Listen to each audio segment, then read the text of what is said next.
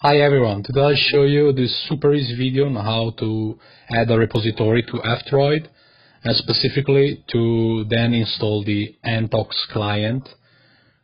So it is an Android client for the TOX uh, protocol, you know, so then you can chat using the TOX protocol.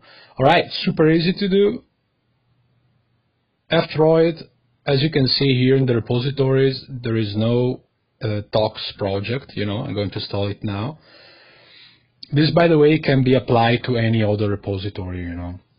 Basically, what you need to do, I'm using my browser here.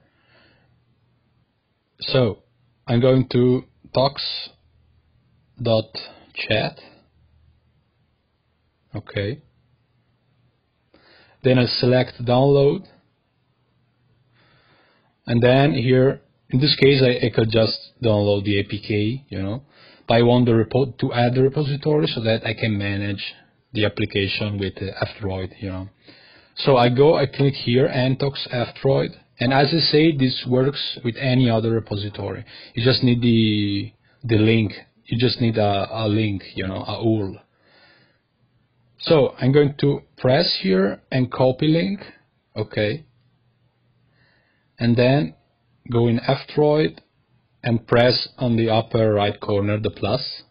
Okay, and as you can see, I don't even need to paste. It's already pasted and everything. There is a fingerprint also. And I want to click add. By the way, if it's not there, just paste, you know, the address and then click add. Okay, as you can see now, there is another repository here.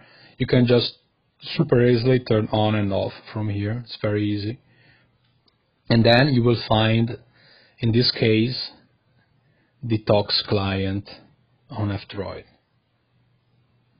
and TOX. And you can install. It's already installed for me so I'm not gonna do that.